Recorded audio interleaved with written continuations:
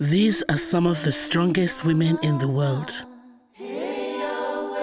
Not only do African women often work hard throughout their pregnancies, over 160,000 a year die in childbirth.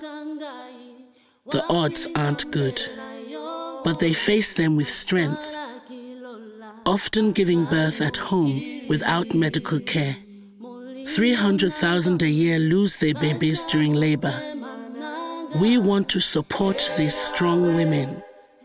So we are partnering with the International Committee of the Red Cross to develop a high risk pregnancy toolkit. It will help healthcare workers and mothers to identify risky pregnancies before they become life threatening. It's a simple thing that can help save lives. Innovation and you. Philips.